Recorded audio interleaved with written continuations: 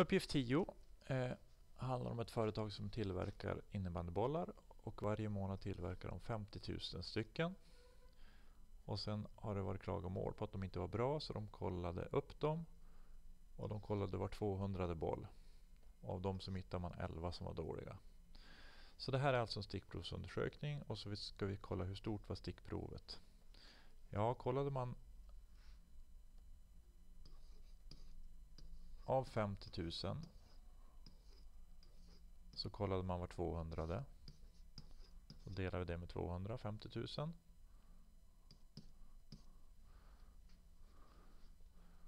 kan man ta räkna om man vill. Jag tar 500 delat i 2, stryker lite nollor. Det är 250. Så stickprovets storlek var 250 bollar.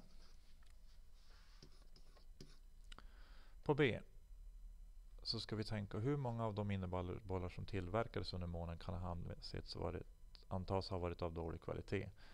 Ja, om det var 11 bollar av de de testade som var dåliga. Det är 11 bollar av de där 250. Så om vi då kollar hur många procent som var dåliga. 11 delat till 250. Nu tar vi räknaren. 11 delat i 250.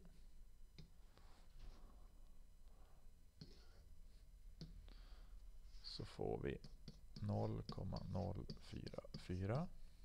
Det är alltså 4,4 procent som var dåliga.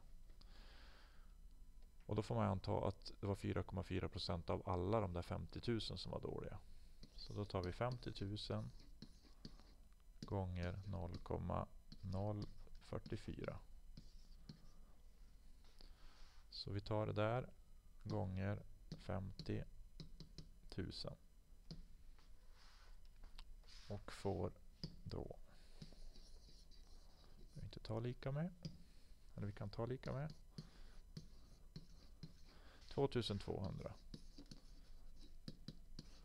Så vi antar att 2200 stycken av bollarna var dåliga.